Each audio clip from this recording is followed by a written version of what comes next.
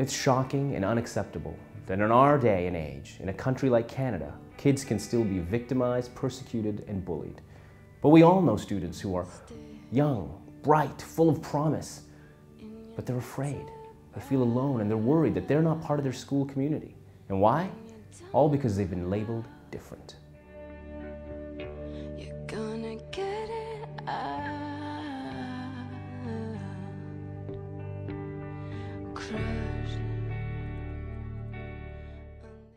50 years, the world changed. The world changed a great deal. And in the 21st century, I don't know where we're headed, but I think that the world is going to continue to change. And as it does, so should we. I take uh, the CCCJ to stand for uh, compassion, caring, community, justice uh, was an ideal spot for me to uh, devote the five years that I have devoted to the Canadian Council of Christians and Jews and try to develop the aspects of bridging that uh, we have become so noted for. That was my father-in-law on the 50th anniversary for the CCCJ. Ned was one of the visionaries who led the organization, and I'm proud to say I am a board member for the Canadian Centre for Diversity, and I'm honored to carry on this work. Our name has changed, but not our mandate and our fundamental belief in the importance of educating our young people as agents of change. As we celebrate our 65th anniversary, it's never been more important. I am proud of what Ned and his generation have started and eager to be a part of what this next generation will achieve.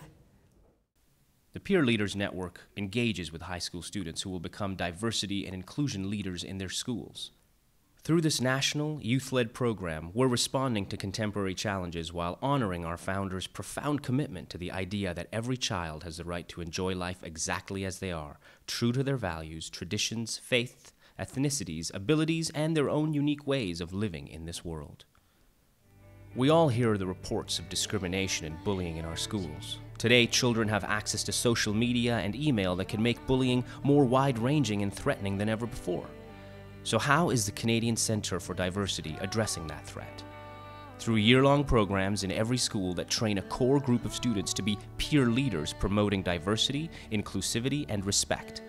They collaborate on events and projects that engage and influence the whole school population. Everyone gets involved. Educators enthusiastically endorse this program because our staff is working with them to accomplish our goals a safe, inclusive environment, and because it respects students by making them partners in the process. Um, I guess just when I first entered high school in grade 9, I was faced with a lot of prejudice, and it was very scary for me because I came from a private school.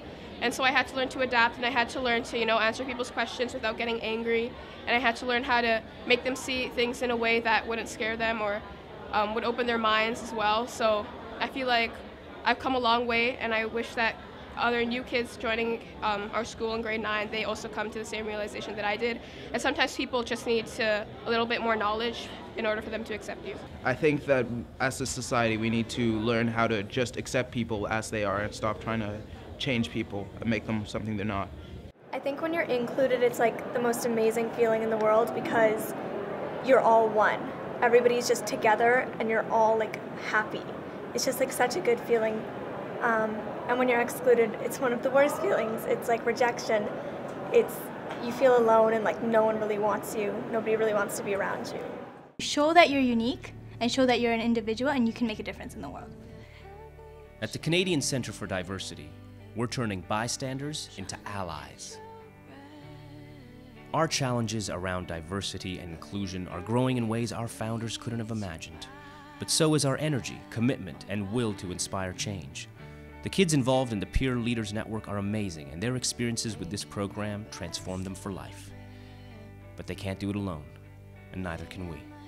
Please join us in helping them to make our schools safe, inclusive, and accepting places for every student across Canada. If I don't speak up, who is going to speak up? The